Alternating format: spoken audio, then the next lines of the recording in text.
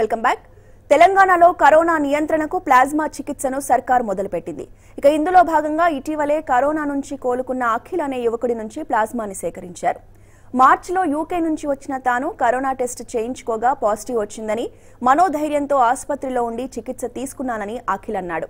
తెలంగాణలో ప్లాజ్మా ఇచ్చిన మొదటి వ్యక్తి అఖిల్తో మా senior correspondent Narender face to face.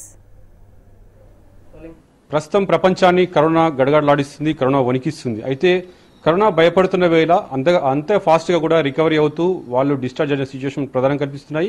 ఇక ఇండియా విషయానికి వస్తే అందులో తెలంగాణ రాష్ట్రంలోనే చాలా పాజిటివ్ కేసుల సంఖ్య పెరుగుతుంది. అదేవిధంగా డిశ్చార్జ్ సంఖ్య కూడా అదేవిధంగా పెరుగుతుంది. సో ఇక్కడ డిశ్చార్జ్ అయిన వ్యక్తులు చాలా మంది కూడా ఉన్నారు. మనతో మాట్లాడానికి అఖిల్ ఉన్నాడు. అఖిల్ డిశ్చార్జ్ అయ్యాడు. డిశ్చార్జ్ కావడంతో పాటు ప్లాస్మా థెరపీ సంబంధించి మనకు టెస్ట్ చేయడానికి సంబంధించి బ్లడ్ కూడా డొనేట్ చేయడం జరిగింది. మనతో అఖిల్ ఉన్నారు. సో చెప్పండి అఖిల్. మామూలుగా మీ ట్రావెల్ హిస్టరీ ఏంటి? మీకు ఏ విధంగా కరోనా వచ్చింది? ఎట్లా ఫైండ్ అవుట్ చేశారు? సో ఎప్పుడు మీరు గాంధీ హాస్పిటల్ అడ్మిట్ అయ్యారు? నేను యూకే నుండి ఇన్ ద మిడ్ మార్చ్ ఇండియాకి రావడం జరిగింది. వచ్చినప్పుడు నేను కంప్లీట్ గానే ఉన్నాను కానీ ఏదో ఒక అనుమానం.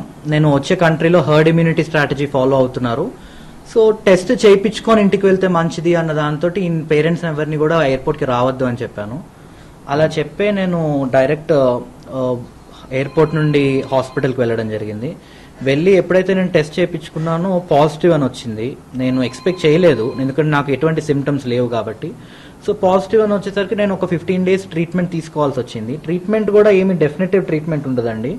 It is all symptomatic treatment మీకు ఏదైనా సిమ్టమ్స్ డెవలప్ అవుతేనే దానికి దా- సంబంధించి దాన్ని సప్రెస్ చేయడానికి ట్రీట్మెంట్ ఇస్తారు తప్ప కోవిడ్ నైన్టీన్ కరోనా వైరస్ని టార్గెట్ చేస్తూ ఎటువంటి డ్రగ్ లేదు. ఒకవేళ వాళ్ళు ఏదైనా ఇచ్చినా it is trial and error అది పనిచేస్తుందో పనిచేయదో వాళ్ళకి కూడా తెలియదు ఆ తెలిస్తే ఈరోజు ఇంత ప్రమాదం లేదు. సో ఇలాంటి సిచ్యువేషన్లో మీరు కంప్లీట్గా మీ ఇమ్యూనిటీ మీద మీ పాజిటివ్ మెంటల్ పాజిటివ్ యాటిట్యూడ్ మీద డిపెండ్ అయి ఉండాల్సి అవసరం. ఐసోలేషన్ పీరియడ్లో ఉన్నంతకాలం రకరకాల సిచ్యువేషన్స్ చూస్తూ ఉంటాం. ఎందుకంటే మీ ఎదురుగున్న ఉన్న పేషెంట్స్ క్రిటికల్ అవుతారు అప్పుడప్పుడు. ఎదురుగున్న వాళ్ళు కొంతమంది చనిపోతారు. ఇవన్నీ చూడడం అనేది సహజం. కాకపోతే చనిపోయినప్పుడు భయం అనేది వేస్తుంది. ఎలా అంటే అమ్మ వాళ్ళకున్నది మీకున్నది ఒకటే వైరస్ అనేది. సో అది ఆ థాట్ ఆటోమేటిక్గా మన మైండ్లోకి వస్తుంది.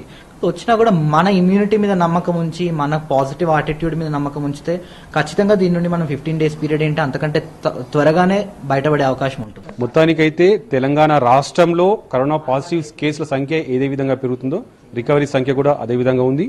సో రికవరీ అయిన వాళ్ళు చాలా బాగా బయటికి వస్తున్నారు. సో అఖిల్ లాంటి వాళ్ళు ముందుకొచ్చి ప్లాజ్మా కోసం బ్లడ్ డొనేషన్ చేయాల్సిన అవసరం ఎంతే ఉంది. డాక్టర్స్ కావచ్చు తెలంగాణ సర్కార్ కావచ్చు అదే కోరుకుంటుంది. సో ఈ కరోనా వచ్చిన వాళ్ళ పట్ల వివక్ష చూపాల్సిన పని లేదు. కరోనాపై మనం పోరాడాలి ఆ వచ్చిన వ్యక్తులతో మనం పోరాడకూడదు. సో ప్రతి ఒక్కరు కూడా దీన్ని మనసులో పెట్టుకోవాలి. సో కరోనా అనేది ఇంత డేంజర్ వైరస్ కాదు. సో దీన్ని మైండ్లో పెట్టుకొని సామాజిక దూరం భౌతిక దూరం పాటించండి. లాక్డౌన్కు మీరు కట్టుబడి ఉండండి. సో కరోనా బారిన పడకుండా ఉండడానికి ఎంతగానో దోహదపడుతుంది. శ్రీకాంత్ కలిసి నరేందర్ టీవీ ఫైవ్ హైదరాబాద్.